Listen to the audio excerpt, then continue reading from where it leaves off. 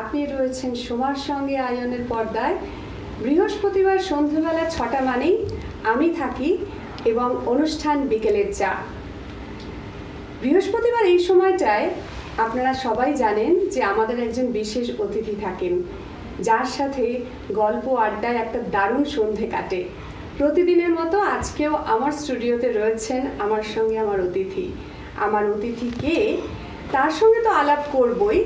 তার আগে একটু ছোট্ট কথা বলি। শরৎ তো এসে গেছে। শরৎ এসেছে মানেই শারদিয়া। শরৎ মানেই দুর্গাপুজো। শরৎ মানেই বাঙালি জীবনের দারুণ উৎসবের সময়। তাই উৎসব আমরা যখন মাতব, তখন তো সাজুগুজু একটু করবই। সাজগোজ থাকবে, পোশাক থাকবে, গয়নাগাটি থাকবে এবং আরও কিছু থাকবে। তাই আর বেশি না রহস্য করে আমি আজকে আলাপ করাচ্ছি আমাদের অতিথি রশ্মির সঙ্গে। রশ্মি। নমস্কার সোমাদি। কেমন আছো বলো? আজকে তো ভীষণ ভালো আছি। মানে সেটা তো মানে বলাই বাহুল্য বাট আজকে তো ভীষণ ভীষণ ভালো আছি। আর তোমাকে দেখে আয়নের পর্দায় এসে মনটা যেন সত্যিই মনে হচ্ছে যে মা আসছেন। তোমাকে দেখতে খুব সুন্দর লাগছে, ভীষণ সুন্দর লাগছে। মানে বেশ একটা দুর্গাপুজো দুর্গাপুজো ভাব এনে ফেলেছো তুমি অলরেডি স্টুডিওর মধ্যে। থ্যাংক ইউ সো মাচ তোমাকে যেটা বলছি আয়ন টিভিকে এবং তোমাকে বিকেলের চা অনুষ্ঠানে হট কাপ অফ টি তার সঙ্গে যদি পুজোর সাজগোজের এই একটা আড্ডায় আমরা আজকে জমে উঠবো, এটা ভেবেই তো মনটা ভীষণ ভালো লাগে, তাই না বলো? And thank you for the compliment হ্যাঁ অফকোর্স একটু পুজো পুজো ভাব আনার জন্যই আজকে আর ভাবলাম লাল পাড়ে গরদের শাড়িটা পরেই ফেলি। খুব ভালো করেছ। মানে এই সাজটা দেখেই আমাদের মনে হয় যেন শরৎকাল এসে গেছে। এই সাজটা দেখেই যেন মনে হয় যে বেশ এবার পুজো সময় এসে গেছে। ঠিক ঠিক ঠিক। সো এই এই যে এই যে আমাদের পাঁচ দিনের বা চার দিনের আমাদের যে শারদীয় উৎসব সেই উৎসবটা কিন্তু শুধু ওই তিনটে বা চারটে দিনের মধ্যেই সীমাবদ্ধ না। এই যে আমাদের প্রেপারেশন সাজগোজ, কোথায় বেরোবো, কি খাব, কি পরবো, এইটা হয়তো এবারে আমাদের একটা আনওয়ান্টেড গেস্ট আছে in the form of a virus but আমার পূর্ণ বিশ্বাস যে দুর্গা মা যেরকমভাবে মহিষাসুরকে বধ করেছিলেন, সেইভাবেই বোধহয় করোনা ভাইরাসকে বধ করবে। একদম ঠিক কথা বন্ধু। মা দুর্গা যেভাবে অসুরকে বধ করেছিলেন, তেমনভাবেই হয়তো একদিন আমরা করোনার প্রকোপ থেকে কাটিয়ে উঠব এবং আবার জীবন যেমন ছিল তেমনভাবে কাটাবো। রোশনি আমার যেটা মনে হয়, রোশনির সব থেকে ভালো যে দিকটা আমি বলব, সে দিকটা তো আস্তে আস্তে গল্পের মধ্যে মধ্যে উঠে আসবে। তবে আমি যেটা বললাম যে রোশনিকে দেখতে এত সুন্দর লাগছে, এখান থেকে আমার যিনি বন্ধু পর্দার ওপারে রয়েছেন এতক্ষণে বুঝে গেছেন, রোশনি কিন্তু মানুষকে সাজিয়ে গুজিয়ে সুন্দর করে তোলে। এটাই রোশনির কাজ। যদিও ও ব্যাংকে চাকরি করে, ভীষণ একটা দারুণ মানে একটা গুরুভঙ্গির ব্যাপার আছে, কিন্তু সাজগোজ এবং সাজানোটা রোশনির একটা প্যাশন তাই তো? অ্যাবসলিউটলি সাজগোজ এবং শুধু মানে নিজে সাজানা অন্যকে যে সুন্দর করে সাজিয়ে তুলতে যে তৃপ্তিটা রয়েছে সেই তৃপ্তিটা বা সেই প্যাশনটাই বোধহয় আমাকে এতদিন ধরে এগিয়ে নিয়ে যেতে সাহায্য করেছে। আজকে তোমাকেও ভীষণ সুন্দর লাগছে। কোথাও যেন একটা তুমি একটা কাশ্মীরি এমব্রয়ডারি শাড়ি পরে রয়েছো। আমার চোখ থেকে তো বাঁচতে পারবে না সমাধি ভীষণ সুন্দর লাগছে। এই সুযোগে আমি আয়ন টিভির সমস্ত দর্শককে আমার তরফ থেকে শারদিয়ার অনেক শুভেচ্ছা জানাচ্ছি। দেবীপক্ষ এবং সারা বছর আপনাদের ভীষণ ভালো কাটুক।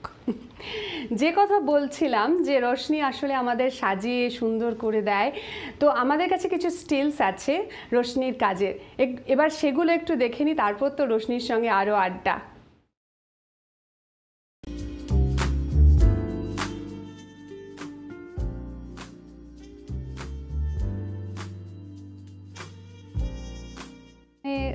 এটা তো তোমার ওই তুমি যেটা বললে যে ওই কাঁথাটা দেখলাম ওটা কি রিসাইকেল করা? না।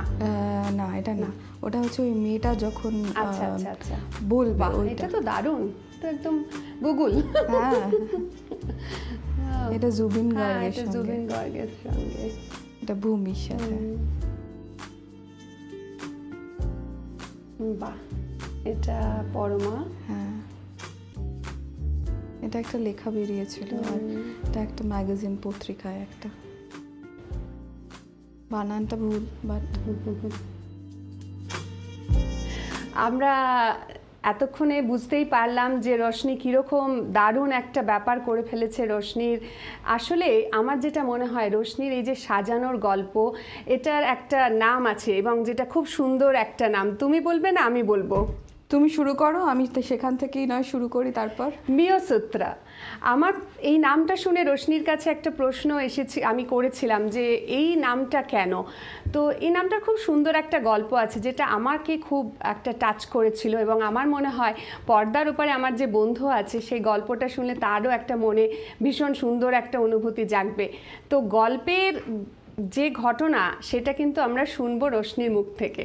নিশ্চয়ই সমাধি মিয়সূত্রা নামটা খুবই অদ্ভুত এবং অনেকেই আমাকে এই প্রশ্নটা করে থাকে যে এটার মানেটা কি?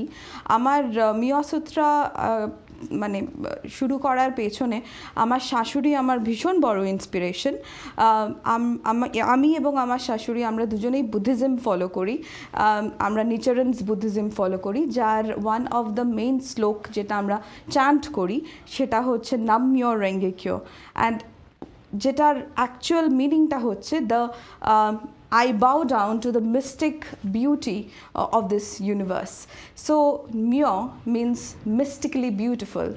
And I think we women are all mystically beautiful in our own way. And Sutra is a source or the thread. So, the mystically beautiful thread uh, is wrapping us, whether it is a guy or a girl. That's what Myo Sutra is for me. এত সুন্দর একটা ব্যাখ্যা। আমার মনে হয় যে আমার পর্দার ওপারে যে বন্ধু রয়েছেন, তাকেও ভীষণ ভালো লেগেছে এই গল্পটা তার কাছে। কারণ আমার মনে হয়েছিল এই গল্পটা রশনির কাছ থেকে আমি যখন ফোনে শুনেছিলাম যে এই গল্পটা আমি নিশ্চয়ই আমার দর্শক, শ্রোতা বন্ধুদের কাছে তুলে ধরবো। তো রশনির মুখ থেকে শুনে নিলাম মিয়সূত্রার গল্প। এবং এটার একটা অদ্ভুত তোমার একটা ব্যাখ্যাও রয়েছে যে এটা নেচারেন্স বুদ্ধিজমের লোটাস সূত্র থেকে আসে। And lotus is a kind of a flower যেটা বলে যে ইট ইট সিগনিফাইজ মানে there no there are no flowers like that যেটা ব্লুমের ব্লুম করে তার মধ্যে সিডসও থাকে so it actually tells you two sides so one is life and one is towards your fag end of your life so সেই জন্যই তুমি দেখবে যখন একশো আটখানা পদ্ম দেওয়া হয় দুর্গা পুজোতে, কারণ দুর্গা ঠাকুরের একশো আটটা নাম নিয়ে, সেই পদ্ম ফুলই কিন্তু ইউজ করা হয় because it signifies the beauty in one side and probably the sunset of your life in another way ঠিক ঠিক। খুব সুন্দর তো জমে উঠেছে আমাদের আড্ডা এবং যেটা আমার মনে হচ্ছে রশ্মির কাছ থেকে আরও আরও আরও অনেক এরকম গল্প আমরা শুনব। তো যেটা আমার আরেকটা জিনিস জানতে ইচ্ছে করছে, ধরো তুমি তো ব্যাংকে চাকরি করো, তুমি আমাকে বলেছ তুমি এদেশে এসেছ দু হাজার ছয়। ভুল বলিনি তো দু ঠিকই বলেছি তার মানে। তো এরপরে তুমি মিয়সূত্র শুরু করেছ দু হাজার সতেরোতে। হ্যাঁ। এবং সেই বছর পুজোয় তোমার সঙ্গে আমার প্রথম আলাপ হয়েছিল। একদম ঠিক। তো এবার এই যে ধরো তুমি ব্যাংকে যে চাকরি করছ এত ভীষণ একটা দায়িত্বপূর্ণ কাজ। এবং ধরো এদেশে তো সব কিছুই নিজেকে করতে হয়। এরপরেও তোমার মনে হলো যে না আমার একটা নিজের কনসার্ন থাকবে আমার একটা নিজে নিজস্ব একটা ইনস্টিটিউট থাকবে যেখানে আমি নিজে নিজেকে অন্যভাবে প্রকাশ করতে পারব আমার শখটা দিয়ে বা আমার ইচ্ছেটা দিয়ে। এই ব্যাপারটা মানে তোমার কি আগে ছোটবেলা থেকেই ছিল নাকি পরে হয়েছে? কি ব্যাপারটা? এই গল্পটাও একটু শুনতে চাই। নিশ্চয়ই। এটা তো বহু বছর ধরে এই দেশে রয়েছি। সুপ্ত একটা ইচ্ছে ছিল, কিন্তু সেটাকে কীভাবে কীভাবে কার্যকর করব সেটা অতটা প্ল্যান বা ভাবনা প্রথমের দিকে হয়তো করিনি। ছোটবেলা থেকে বলতে গেলে আমার দিদা ভীষণ ভালো সেলাই করতো। সেখান থেকে বোধহয় কোথাও ওই দিদার সঙ্গে বসে বসে ওই উষা মেশিনে টিক টিক টিক টিক করে করতো। আমি খুব খুব মনোযোগ দিয়ে দেখতাম, আমার খুব ভালো লাগতো। তারপরে আমার মার যে সার্টোরিয়াল চয়েসেসগুলো যেরকম শাড়ি পরেন বা তিনি একজন লাইব্রেরিয়ান ছিলেন, সারা জীবন কাজ করেছেন, সেখানেও আমার একটা ভীষণ ইন্সপিরেশন মাকে যখন প্রতিদিন দেখতাম কাজে বেরোতো এত সুন্দর সেজে বেরোতো, সে আমি হাঁ করে দেখতাম। মনে হয় যে কোথাও যেন এই যে ফেজেস অফ লাইফে যে জিনিসগুলো আমাকে ভালো লেগেছে, সেটারই একটা কালমিনেশন পয়েন্ট হচ্ছে মিয়াসুত্রা। কিন্তু যদি বলি দু হাজার সতেরোতে এক্স্যাক্টলি কী আমাকে হঠাৎ করে ইগনাইট করে যায় একদিন আমি শুরু করলাম সেটার স্টোরিটা যে ভীষণ একটা মানে দারুণ একটা স্টোরি সেরম না। আমার অ্যাকচুয়ালি শরীরটা সেই সময়টা খুব একটা ভালো যাচ্ছিল না। এবং খুব নেগেটিভ যখন তোমার শরীরটা ভালো লাগে না তখন কিন্তু তোমার মনটাও ভালো লাগে না সমাধি এবং তখন তুমি চাও এমন কিছুতে নিজেকে ডাইভার্ট করতে যেটা তোমার প্যাশন যেটা তোমাকে ভালো বাসতে বা মানে তোমাকে ভুলে থাকতে দেবে। সেই হিসেবে আমার মিয়সূত্র কিন্তু শুরু। এরম না কোনো বিজনেস প্ল্যান চক আউট করেছি বা কোনো গোল সেট করেছি। নো নট লাইক দ্যাট আমার যেহেতু শরীরটা ভালো লাগ থাকতো না সেই সময়টা একটু আপস অ্যান্ড ডাউনস চলছিল। আমার মনে হয়েছিল যে এমন একটা কিছু করি যেটা আমার নিজেকে খুব আনন্দ দেবে। আমাকে ওই নেগেটিভ থটস থেকে ভুলে রাখতে চেষ্টা করবে। And that's how I started and after that you know everything just followed মানে এত অগুন্তি আমার যারা ফলোয়ার্স রয়েছে ক্লায়েন্টস রয়েছে যারা এখন আমার বন্ধু আমার পরিবার তারা এখন আমার আমার একটা মানে বৃহত্তম পরিবার যেটাকে আর কি বলি। এর যে ভা- মানে এর যে মানে ভালো লাগাটা বা কিছু করে তাদের জন্য তাদের থেকে সে ফিডব্যাকটা পাওয়া ভালো খারাপ দুটোই হতে পারে। এটার একটা কিন্তু অভাবনীয় অনুভূতি হুম। আরেকটা যেটা আমার মনে হচ্ছে যেহেতু তুমি এই বললে যে তোমার শরীরটা খারাপ ছিল তখন তুমি নিজেকে একটা মানে নিজের প্যাশনের দিকে ডাইভার্ট করার চেষ্টা করেছ. তো ধরো আমি একটা জিনিস সাধারণ প্রশ্ন জিজ্ঞেস করছি। রশনি কি নিজেকে সবসময় এরকম যেরকম দেখছি এরকম সাজিয়ে গুজিয়ে রাখা পছন্দ করে? নাকি রশনি খুব ক্যাজুয়াল থাকা পছন্দ করে? নাকি রশনির যখন যেটা মানে কখনো ক্যাজুয়াল কখনো খুব সাজা গোজা এই ব্যাপারটা কি মানে তুমি কি ছোটবেলা থেকেই খুব সেজে গুজে একদম টিপটপ যেরকম মাকে বললে সেরকমই নাকি মাকে দেখে যেটা তোমার বয়স বাড়ার সাথে সাথে বেড়েছে? বয়স বাড়ার সঙ্গে অ্যাকচুয়ালি খুব ছোটবেলায় যদি হয় একটা খুব ছোট একটা ছবিও রয়েছে আমার যে আমি মায়ের শাড়ি ছাড়ি পরে টিপ টিপ পরে যেহেতু মা থাকতো না বাড়িতে অ্যাজ আই সেড যে she use to work and যে দুপুরের সময়টা আমি হয়তো স্কুল থেকে ফিরে এসে মার শাড়ি পরে টিপ পরে লিপস্টিক পরে তখন আমার পিসিরা আমাকে খুব বলতো বৌদি তোমার মেয়ে কিন্তু ভীষণ সাজুনে হবে। But I think growing up ইয়ার্সে পড়াশুনোটা খুব প্রাধান্য পেয়ে যায়। আমি না গান বাজনা নাচ গানও করতাম কিন্তু পড়াশোনাটা ভীষণভাবে প্রায়োরিটি ছিল। আমি জয়েন্ট ফ্যামিলিতে বড় হয়েছি আরও পাঁচজনের মাঝখানে। তো ওই সময় যে প্রচণ্ড সাজগোজ নিয়ে চর্চা সেটা যে খুব একটা এনকারেজও করা হতো আমি কিন্তু সেটা বলব না। কিন্তু যখন মানে বিয়ের আগে বা তার পরের থেকে তখন মনে হলো যে না নিজের হাতে সমস্ত কিছু তখন কিন্তু একটু এক্সপেরিমেন্ট আমি করতে শুরু করি। বাট একটা জিনিস আমি বলতে চাই পুজোতে আমি জানি না ছোটবেলায় আমরা প্রচুর এরকম জামার কাপড় পেতাম মানে বিভিন্ন জন প্রেজেন্ট করতো। আমি কিন্তু মার সঙ্গে প্রতিবার টেলারের কাছে গিয়ে নিজে ডিজাইন দিতাম। তো বোধহয় কোথাও এই ছোট্ট ছোট্ট ছোট এটা বিল্ডিং ব্লক হিসেবে কাজ করেছে। Again to come to that culmination point of Miasutra বাহ এটা তো খুব শুনে যেটা আমার মনে হলো যে না নিশ্চয়ই কোথাও একটা শুরুটা কিন্তু আমাদের ছোটবেলা থেকেই থাকে। নিশ্চয়ই। এবং তুমি যেটা বললে এটা কিন্তু আমরা অনেকেই এক্সপিরিয়েন্স করি। ছোটবেলা মার মার অনুপস্থিতিতে মার জুতোটা একটু গলিয়ে নিলাম মার শাড়িটা একটু পরে নিলাম। মার টিপটা একটু কপালে পরে নিলাম এবং অনেক ক্ষেত্রেই হয় আমাদের মায়েরা যেমন আমাদের স্টাইলটাও কিন্তু সেরকম হয়। একদম। যেমন আমার মা কোনোদিনও এই জর্জেট ক্রেপ এসব পরেননি বলে আমি জীবনে পড়তে পারলাম না। আমার আজও সেই শাড়িগুলো পরা হলো না আমার যেন মনে হয় আমাকে বোধহয় মানাবে না কোনোদিনও। হ্যাঁ।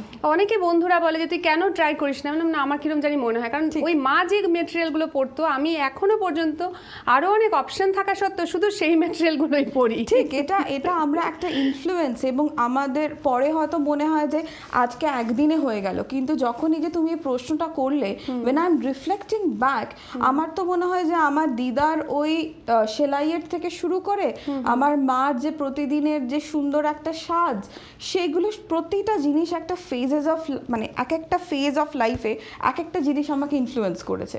এবং এটা একটা অ্যামেজিং মানে যখন তুমি রিফ্লেক্ট করো অ্যামেজিং এটা। না না সত্যি আমার খুব ভালো লেগেছে যে এবং তুমি যখন বললে যে কথা প্রসঙ্গে যখন চলেই এলো যে তুমি ছোটবেলায় নাচ শিখেছো গান শিখেছো এখানে তো নাচ দেখানোর কোনো অবকাশ নেই। কোনোদিন যদি আয়ন টিভি সেই ব্যবস্থা করে নিশ্চয়ই আমরা হয়তো তোমাকে আবার ডাকতে পারি।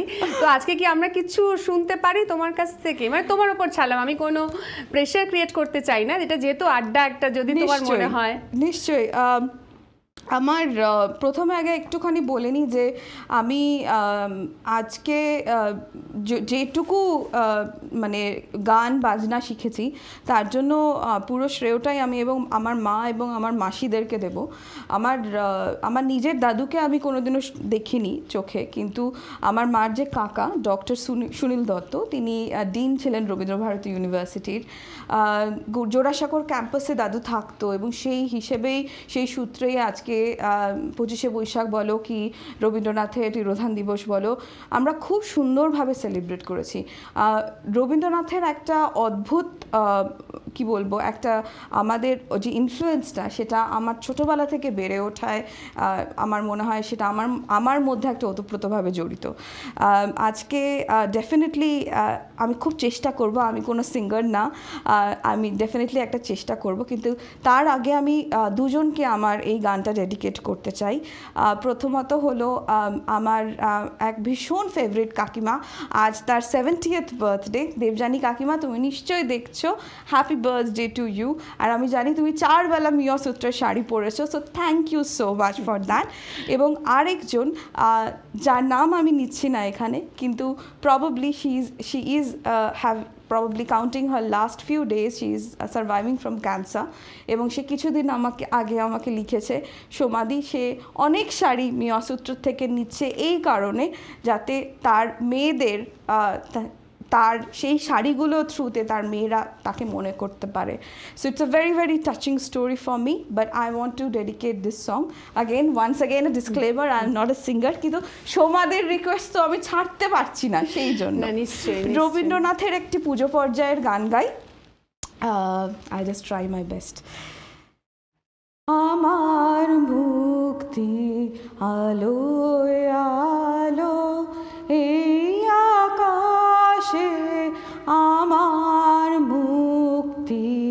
আলো আলোয় আমার মুক্তি ধুলায় ধুলায় ঘাসে ঘাসে এই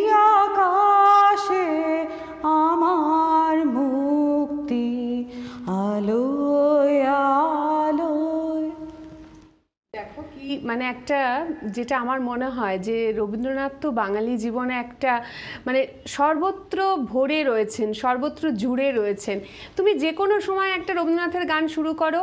আমার মনে হয় না যে কেউ একটা ভাবে যে তার গলায় সুর আছে কি না তুমি তো খুব সুন্দর গাইলে, কিন্তু এটা আমি জাস্ট উদাহরণস্বরূপ বলছি। কেউ, যদি কেউ রবীন্দ্রনাথের গান গায় না, যে শুনছে সে কিন্তু ভাববে না ওর গলায় সুর আছে কিনা। কিন্তু এটা নিবেদনটাই এমন চলে আসে, যেখানে কিন্তু ওই নিবেদনের ব্যাপারটাই মানে পুরো একটা জায়গা জুড়ে ফেলে। মানুষ হয়তো ওখানে সুর তাল লয়টা নিয়ে আমার মনে হয় না খুব একটা ভাবে। কারণ আমরা তো ধরো সবাই তো আর ওরকম হাত জোর করে সবসময় প্রণাম করা নমস্কার করা সময় সুযোগ পাই না। যেটুকু গানে আমাদের এই যে একটা অদ্ভুত আমাদের একটা ভান্ডার দিয়ে গেছেন উনি আমার তো মনে হয় ঘুরতে ফিরতে এই গানগুলো গাইলেই বেশ আমাদের প্রেয়ার হয়ে যায় পুজো হয়ে যায়। নিশ্চয়ই নিশ্চয়ই। রবীন্দ্রনাথ আমাদের সঙ্গে আহ, সারা জীবন থাকবে। আগামী যত প্রজন্ম আসুক রবীন্দ্রনাথ থাকবে। না সত্যি। আর আমি তো তোমার অনেক শাড়িতেও দেখি যে কবিতার লাইন হ্যাঁ। আমাদের বর্ণ পরিচয় তুমি তো বেশ সুন্দর করে তুলে তুলে ধরো। মানে।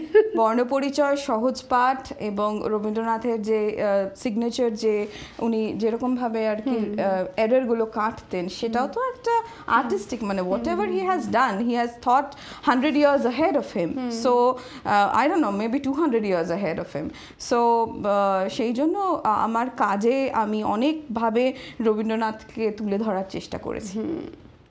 দু ছয় সালে এদেশে এসেছে বাঙালি এক মেয়ে।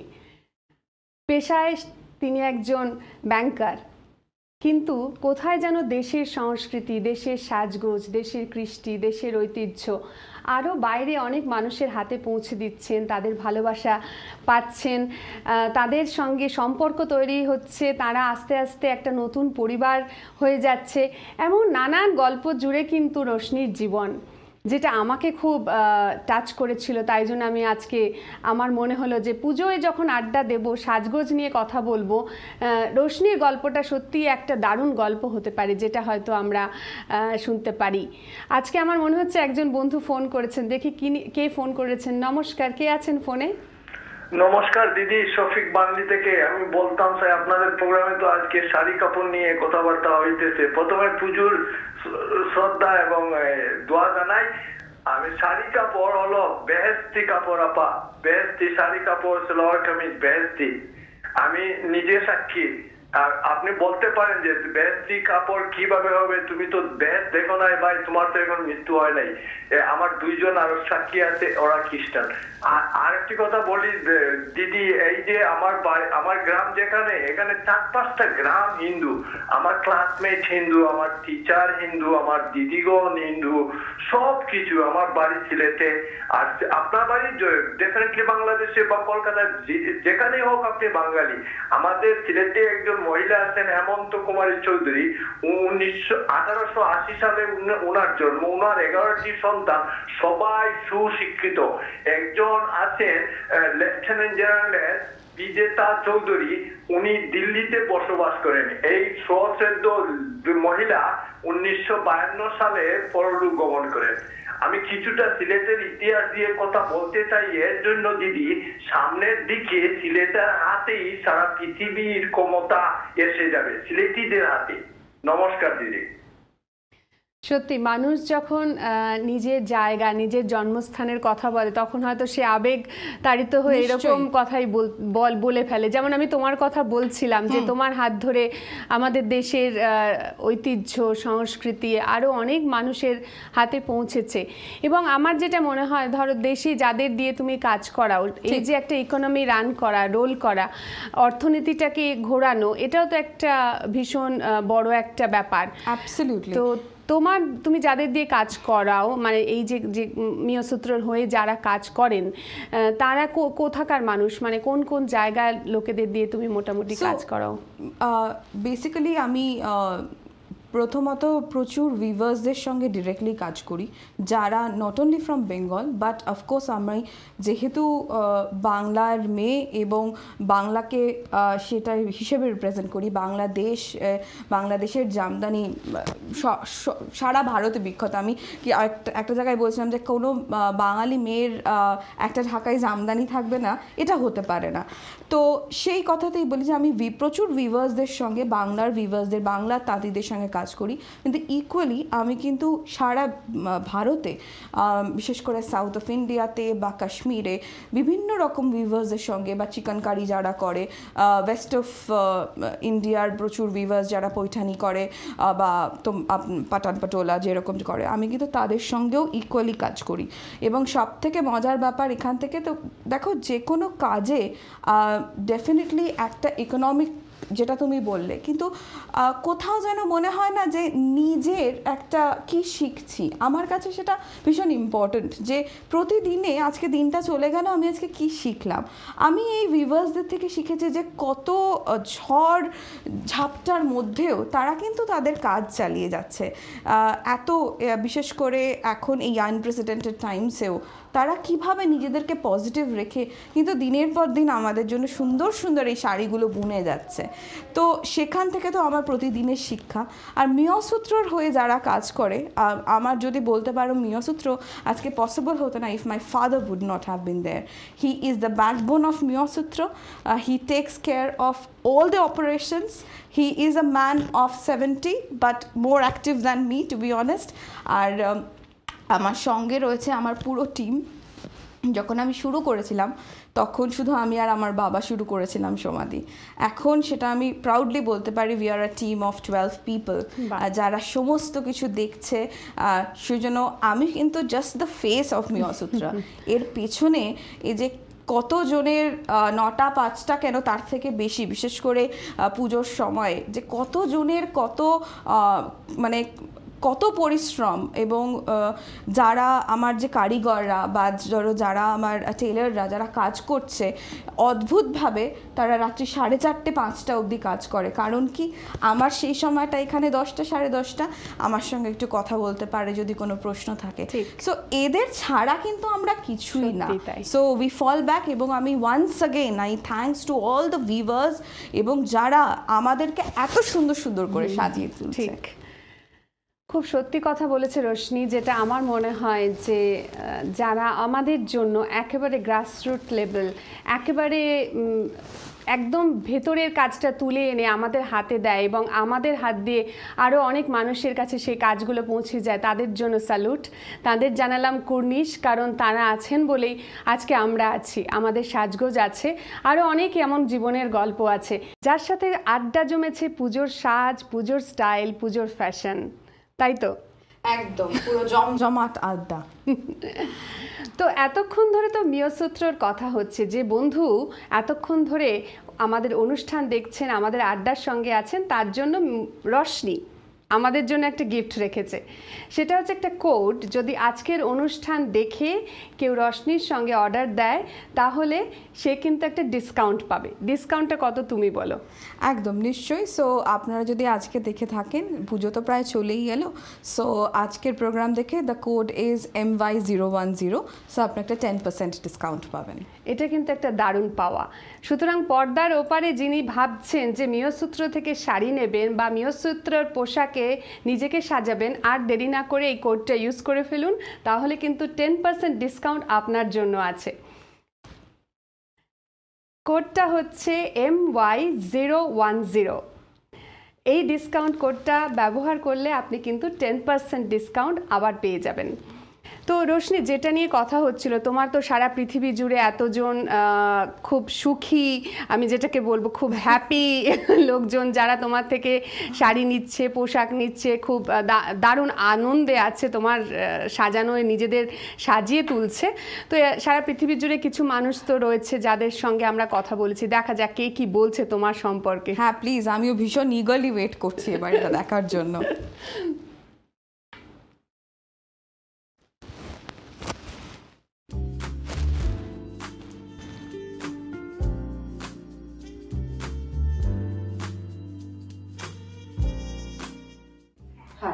my name is Lopa Banerjee and I'm from Toronto, Canada.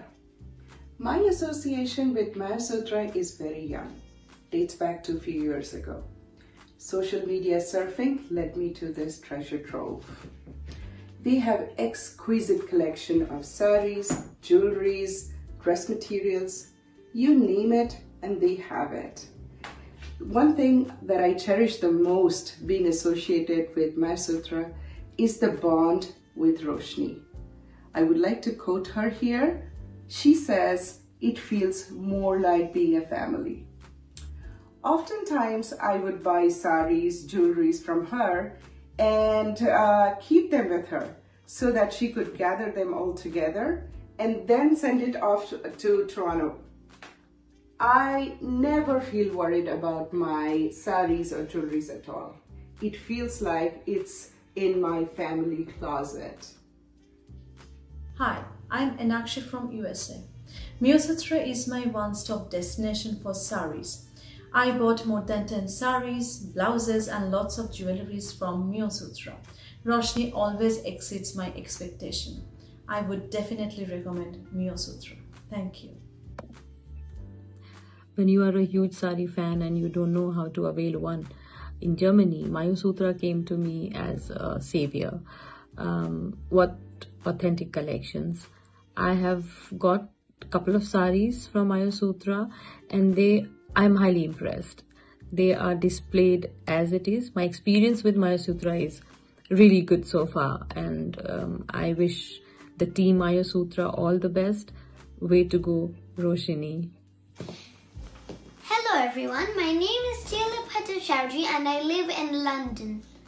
Roshni auntie, thank you for making this lovely gown and necklace. I am one of your youngest fans. When I will grow up, I'll wear all of my mom's jewelry, saris, and dresses from my collection.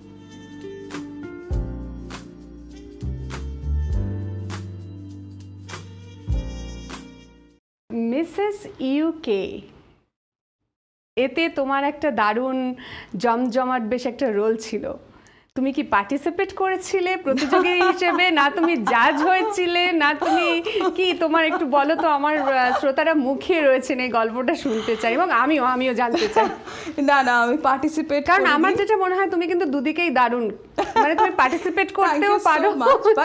মানে kudos to the dedication of the people but আমি জানি না আমি আমি কোনোদিনও participate participant হিসেবে নিজেকে consider করব কি না but it's a it was a great honour যে আমি I was one of the five জাজেস of Mrs India UK which is definitely a part of the the big level of Mrs India এবং এখানে ওরা সে লন্ডনে ওরা প্রতি বছর সেটাকে আয়োজন করে। এবং এবছর ওরা আমাকে ইনভাইট করেছিল জাজিংয়ের জন্য। এবং স্পেসিফিক্যালি টু জাজ দেয়ার ফিনালে রাউন্ড ওদের যেটা হয়, যেটাতে ওরা বেসিক্যালি দুটো রাউন্ডে হয় একটা ট্যালেন্ট রাউন্ড আর একটা হচ্ছে যেটা ট্যালেন্টটা পোশাক আশাকের মধ্যে দিয়েও হতে পারে। এবং ফাইনাল রাউন্ড যেখানে উই আমরা ওদেরকে প্রশ্ন করি এবং ওরা উত্তর দেয়। খুব নার্ভ র্যাকিং এক্সপিরিয়েন্স আমার মনে হয় যারা পার্টিসিপেন্ট তাদের জন্য তো বটেই।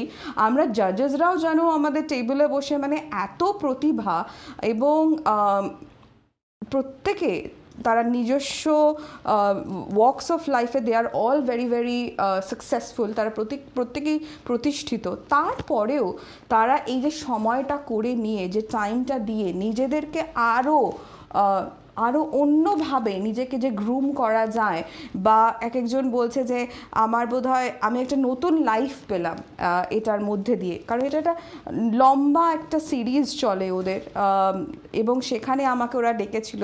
সেখানে the specific my responsibility was যে কারা কীরকম সুন্দর সেজেছে, তারা কি জামা কাপড় পরেছে এবং একটি মেয়ে অভাবনীয়ভাবে আমাদের ভারতের ঐতিহ্যকে তুলে ধরেছিল তার পোশাকের থ্রু দিয়ে একটা পোশাক পরেছিল এবং সেই পোশাকের মধ্যে ভারতের বিভিন্ন প্রান্তের বিভিন্ন যে ফ্যাব্রিক্সগুলো আছে সে তুমি কান্দেরি বলো কাঞ্জিবারাম বলো ঢাকাই বলো বালুচুরি বলো, সমস্ত কাট করে করে সেটা সেই শাড়িটাতেও ডিসপ্লে করেছিল। And that is that was brilliant এবং তার মুকুটের মধ্যে ভারতের ফ্ল্যাগ ছিল। So very very well executed and took মানে সেই জন্য আমি হয়তো এই উদাহরণটা আজকে দিলাম। কিন্তু অভাবনীয় এক্সপিরিয়েন্স বাট ভেরি টাফ কারণ প্রত্যেকেই এত ভালো, তাদের মধ্যে থেকে একজনকে বিচার করে নেওয়া এবং খুব ভালো লেগেছিল অন্যান্য জাজেসরা যখন কারণ I was only Bengali over there ওরা এত বলছিল যে বাঙালিদের মধ্যে এত প্রতিভা রয়েছে, আমাদের এত কালচার এত কিছু আমাদের মধ্যে রয়েছে, এবং সেখানে আমি ওখানে রিপ্রেজেন্ট করছি, সেটা একটা ভীষণ বড় পাওয়া ঠিক কথা। আর মানে ধরো তুমি যদি নাম নাও করি আমরা আমি তো ধরো তোমাকে দেখেছি মানে লন্ডনে অনেক পুজোতেও তুমি বেশ মানে যেগুলো মানে কি বলব বিউটি কন্টেস্ট হয় পুজোগুলোতে সেগুলোতেও তো তুমি মোটামুটি অনেক দিন ধরেই বেশ একটা বেশ জায়গায় আছো যেখানে তুমি জাজ হিসেবে থাকো এবং বহু সুন্দরীদের দেখো তাদের ট্যালেন্ট দেখো। তো এই যে ধরো তুমি এই যে একটা রোল বেশ কিছুদিন ধরে প্লে করছ তোমার কি মনে হয় যে বিউটি কন্টেস্ট তুমি সাপোর্ট করো না করো না।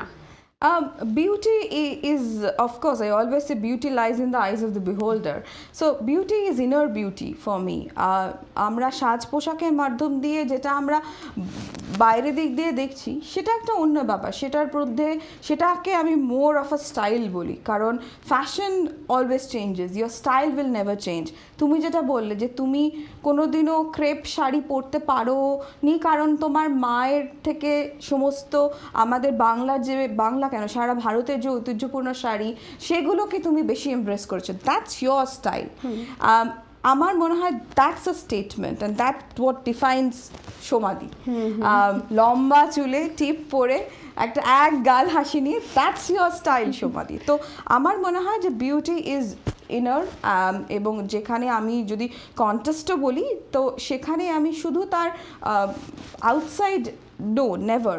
আমার মনে হয় the definition has change over the period and we always look at তারা কি তারা কি কাজ করেছে, তারা কীভাবে দেখছে, তারা আগামী প্রজন্মের জন্য কি করতে চাইছে। That's the beauty that's what will depict your personality that should come out in your attire একদম ঠিক কথা বলেছ। আগামীর কথা যখন উঠল আরেকটা এই এই বিউটি কন্টেস্টের বিতর্কের প্রশ্নের মতনই আরেকটা প্রশ্ন। অনেকে আমাকে এরকম জিজ্ঞাসা করছে মিয়সূত্র কি শুধু মহিলাদের কথাই ভাবছে না পুরুষদের কথা? তুমি কি পুরুষ বিদ্বেষী? না না একদমই পুরুষ বিদ্বেষী না তুমি আমার পুরুষদের কথা ভাবছ না কেন? না না আমার এই এই নিয়ে আমার মানে পুরুষদের থেকে আমার প্রচুর অভিযোগ আসে। শুধু কি আমার বউকে সাজালেই চলবে রোশনি আমাদের কথাও একটু ভাবো।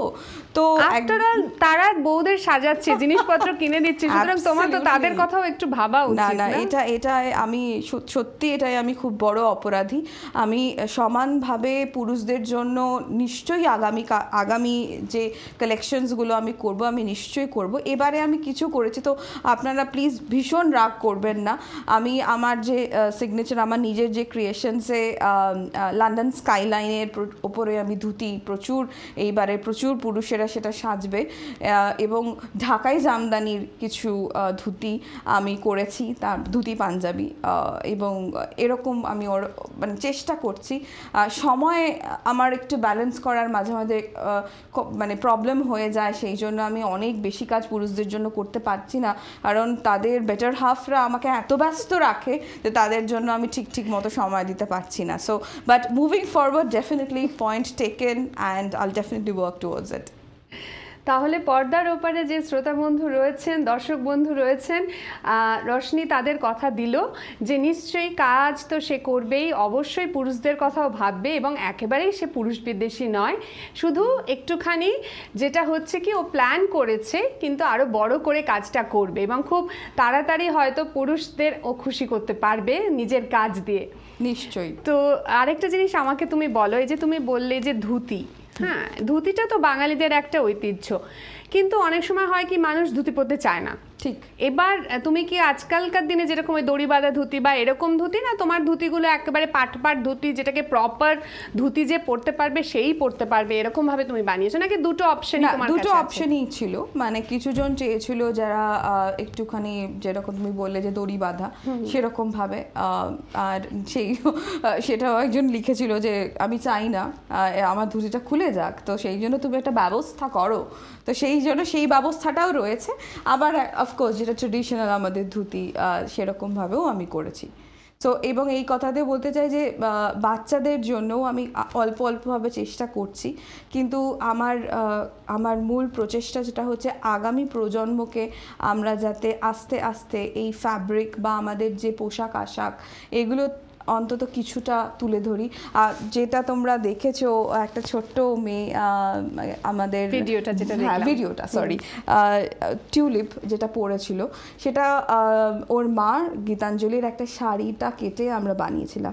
সো কোথাও কোথাও আমার মনে হয় যে এখন এমন মিয়সূত্র এবং the entire team is moving towards a point যেখানে আমাদেরকে এটা ভাবতে হবে সাস্টেইনেবিলিটি ইন ফ্যাশন সেইটা আমি সেটার উপরে আমি অনেক কাজ করছি।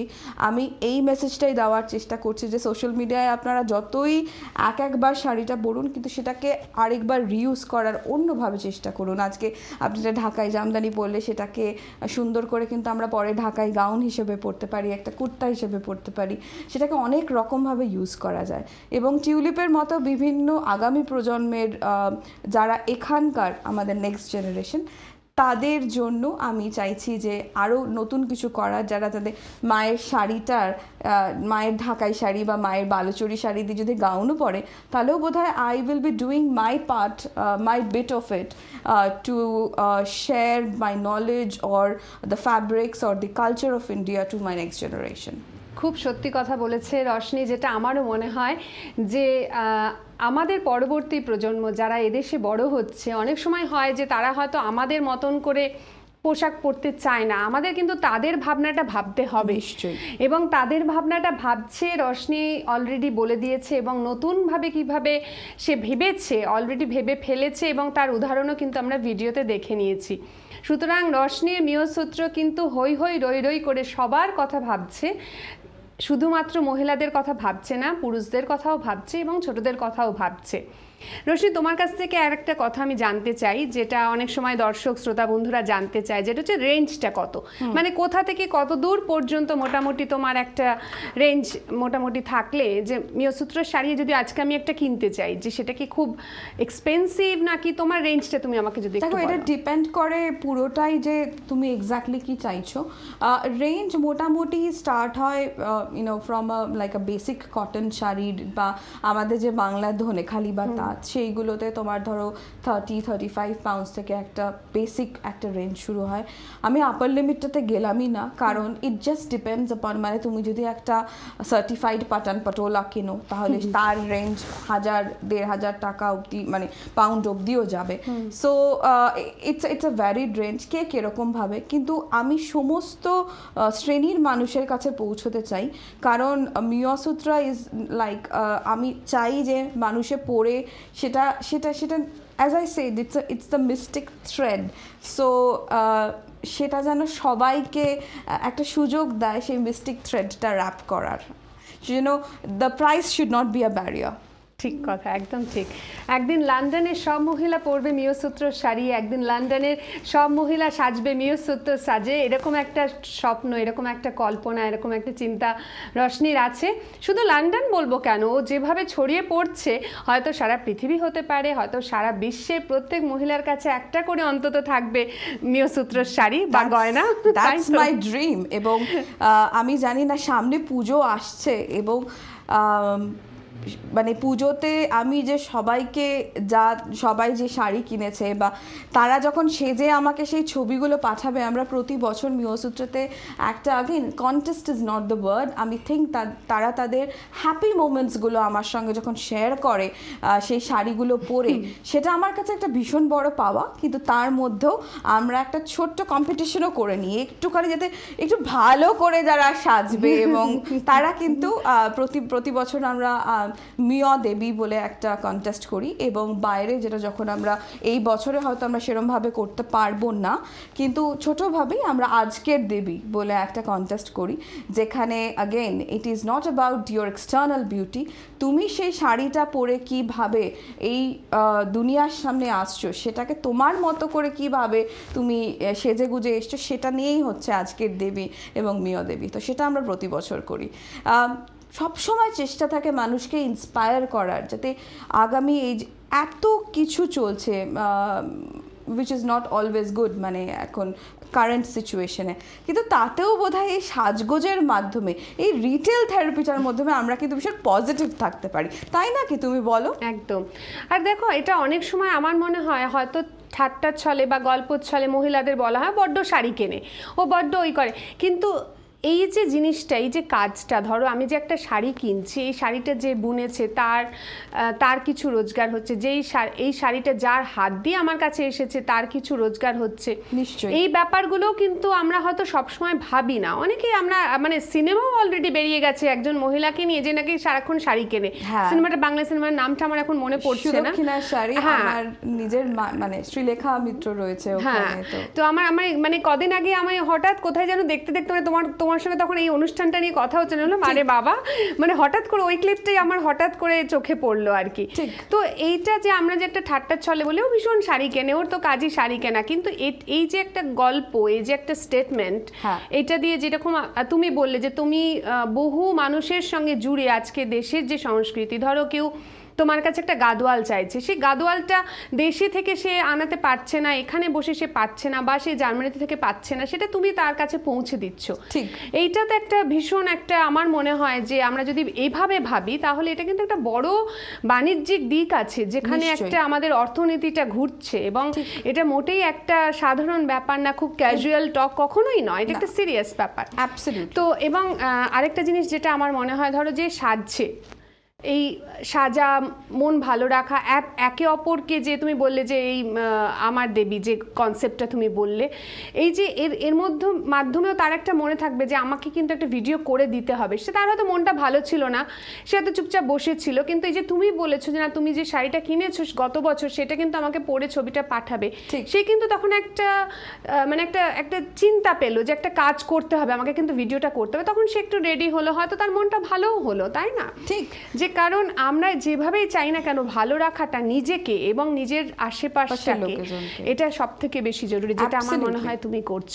Absolutely thank you so much for it এবং এটার আমি একটু উদাহরণ দেবো। শুধু দেখো পুজোর সময় তো লোকজন সাজবে বা সেই পরে শাড়ি পরে গয়নাগাটি পরে আমাকে ভিডিও করে দেবে। সেটা কাইন্ড অফ এক্সপেক্টেড লকডাউনের সময় যখন কমপ্লিট লকডাউন ছিল ইউকেতে সেই সময়তেও আমরা কিন্তু একটা চ্যালেঞ্জ করেছিলাম মিয়সূত্র লকডাউন চ্যালেঞ্জ সেখানে মানুষের বাড়িতে বসে তার গার্ডেনে বসে মিয়সূত্রের শাড়ি পরে আমার জন্য ভিডিও করে পাঠিয়েছে যে, দেখো তোমার শাড়ি। এবং মানে ডিউরিং দ্যাট টাইম এমন একজন রয়েছে, আমি তার নাম নিতেই পারি কস্তুরি, ও কিন্তু নিজে তখন কোভিডে মানে she was actually going through covid আমাকে সেই ভিডিওটা আমার কাছে রয়েছে যারা আমার পেজ ফলো করেন তারা অনেকেই জানেন। ওখানে ওটাই বলছে যে আমার যে আজকে কি আনন্দ হচ্ছে সেদিনকে ঝকঝকে ওয়েদারটাও ছিল লন্ডনে এবং সে একটা কানি সিল্ক শাড়ি পরে আমাকে একটা ভিডিও করে ছবি পাঠাচ্ছে যে আমি কিন্তু এখন currently am suffering from covid but এটা পরে বা এটা করে যেন আমি ভুলে গেছি সমস্ত কিছু। এই যে আনন্দ দেওয়াটা এই ছোট্ট ছোট্ট আনন্দগুলো যেন আমাদের কোথাও একটা মানে কি বলব অন্য জায়গায় নিয়ে যায়। ঠিক। দ্যাটস হোয়াট ইট ইজ এবং জানি না আমি চেষ্টা করে যাব। আপনাদের এই আনন্দ দিয়ে যাবার যতদিন পারব। একদম ঠিক বলেছ রোশনি যেটা আমার মনে হয় যে তোমার সঙ্গে গল্প আড্ডায় এমন একটা সময় চলে গেল সময়টা যদি আর কয়েকটা মিনিট হাতে রয়েছে সেটা আমার আর বুঝতে মানে অবকাশই পাইনি।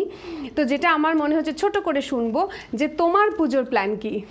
আমার পুজোর প্ল্যান খুব আনন্দ করব। জানি গভর্নমেন্ট গাইডলাইন্স আমাদের মেনে চলতে হবে, সেটা ভীষণ ইম্পর্টেন্ট কিন্তু সাজগোজ করব, আনন্দ করব। এই বছরে আমি নর্মালি অন্যান্য সময় একটুখানি নিজের ক্রিয়েশনস ফ্লন্ট করার চেষ্টা করি।